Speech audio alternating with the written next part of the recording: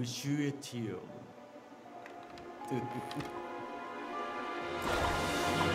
Demo Kuryu! Yay, Otonezu? Uryu Otosu wa? Pasonin New! Ha ha ha ha ha! Emit Uosasi! Among the mini games to look out for in March is Balan Wonderworld from Arzest, Balan Company, and Square Enix. It's a 3D platformer with a musical aspect that's coming to the PS4, Xbox One, Xbox Series X and S, PS5, PC, and Nintendo Switch on March 26th. Here are 14 things that you should know about it before picking it up. Before we go ahead, please consider subscribing to our channel. We upload new videos every single day, and your support really helps us out. With that out of the way, let's start. Sonic the Hedgehog creators reunited. Balan Wonderworld is being developed by Arzest Group and Balan Company. It's most notable for having Yuji Naka and Naoto Oshima as the director and character designer, respectively. Naka is best known for heading up Sonic Team, serving as programmer on Sonic the Hedgehog 1 and 2, and as a producer on Sonic the Hedgehog 3, Sonic and Knuckles, and Nights into Dreams. Oshima has worked on a number of projects through the years, but is best known for designing Sonic and Dr. Eggman. Naka joined Square Enix in 2018 to create Balan Wonderworld, and interestingly enough, was told by the company's president that it was his quote, one chance to make a full scale platforming title. So while a sequel may not be coming up anytime soon, at least we get a new Yuji Naka directed platformer after all of this time. Story The story follows Leo Craig and Emma Cole, two individuals who discover the mysterious Balan Theater. They thus encounter the enigmatic Balan before venturing into the Wonder World and restoring balance to their hearts. Throughout each story, the duo will discover different worlds and characters whose hearts have become overcome by negativity, spurred on by the sinister Lance. What Lance's purpose is, how Leo and Emma can return to their own world, and Balan's true plan are all mysteries to be uncovered. 12 Stories as noted previously, there are a variety of different worlds to explore, each divided into acts.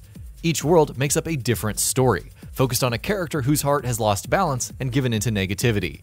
Chapter 1, The Man Who Rages Against the Storm, for instance, is about Jose, who saw his farm devastated by a storm.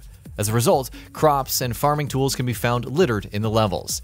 Each world has its own unique hook and environments depending on the person whose heart has gone astray, as the player ultimately confronts the Nega boss to restore balance. Gameplay much of Balan Wonderworld's gameplay is centered on platforming and exploration, with a few bits of action and minigames thrown in. You'll explore stages and locate Balan statues, which can be used to further unlock levels. There are also drops to collect and costumes to find. The costumes in question can either surmount different challenges or be used to deal with the enemies. Over 80 costumes. There are more than 80 costumes to collect in Balan Wonderworld, each with their own unique abilities. These include the Tornado Wolf, which can execute a spinning jump, Jumping Jack, which can jump further, Arrow Acrobat for locking onto enemies in midair and kicking them, and so on. You can hold up to three costumes, though getting hit causes the currently equipped costume to be lost. There are checkpoints for selecting your costumes, though losing all three means restarting the level. Balan's Bouts As you explore the different chapters and stages, you'll come across golden hats. Collect enough of these, and eventually you can enter a minigame where Balan himself becomes playable. These sections are fairly straightforward, quick-time events where the player must sync Balan's actions with the outline on screen. Completing these will net drops, which contribute to the Isle of Tims. Other minigames. Balan's Bouts will serve as the primary minigame throughout, but there are others to be discovered. For example, in Chapter 1, there's a free kick challenge, which sees Leo or Emma having to knock down several targets by kicking a football. Other chapters apparently have their own sports style minigame, so it should be interesting to see what else is in store. Isle of Tims when starting out, the Isle of Tims acts as a hub world where you can access all of the worlds. However, it's also home to the Tims, small creatures which can be raised by feeding them drops. Depending on the drops fed, the Tims will change color and even possess different attributes. Tim eggs can also be found inside different worlds. If this is sounding a lot like Sonic Adventure's Chao Garden, then there's the added dimension of the Tims being able to accompany you on adventures. Bring the red Tim and it will attack enemies, while the pink Tim can help find different items. Raising more Tims will also upgrade the Tim Tower, though what purpose it serves remains to be seen. Local co op support. There's a reason for two protagonists. Local co op is supported for the campaign, as the second player can control either Leo or Emma depending on the first player's choice. This is supposed to add new dimensions to the platforming since you can combine different costume abilities together. Unfortunately, it seems that online co op is not supported, so those looking to partner up online will be out of luck.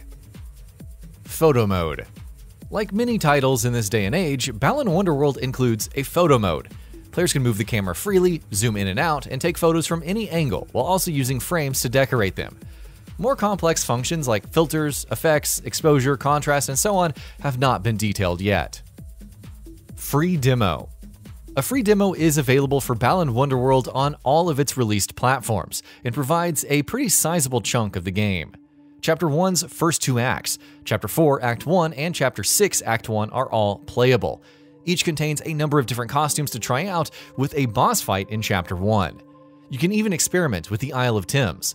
Local multiplayer for two players is also supported. 4K on Xbox Series X and PS5. A quick visit to the official Xbox page for the game indicates that it will run in 4K and at frame rates up to 120 frames per second. So at the very least, you can expect the same option on the PlayStation 5 as well. Whether the Xbox Series S version will run in 4K or not is still unknown, but judging by the recent demo, it certainly runs better than the Xbox One, PS4, and Switch versions. DualSense support. Among some of the more unique console specific features is DualSense support on the PS5. Speaking to IGN last year, Naka indicated that each costume's abilities will feel distinct thanks to the controller's adaptive triggers. While it's debatable just how unique they'll all end up feeling, it's still something to look forward to on the PS5. PC requirements. For those playing the game on PC, the requirements aren't too bad. Minimum requirements include an Intel Core i5-4430 or AMD Ryzen 3 1200, a GeForce GTX 760 or Radeon R9 270X, and 8GB of RAM. This will enable it to run at 1080p 30fps at medium quality. Recommended requirements include an Intel Core i5-6400 or AMD Ryzen 5 1400, a GeForce GTX 1060 or Radeon RX 480, and 16GB of RAM for 1080p 60fps at high quality. In both cases, you'll need 20GB of available hard drive space. And with that, we reached the end of the video. Have anything to say? Let us know in the comments below. Also, we upload new videos every single day on Gaming Bolt, so please consider subscribing as it really helps us out. Thanks for watching.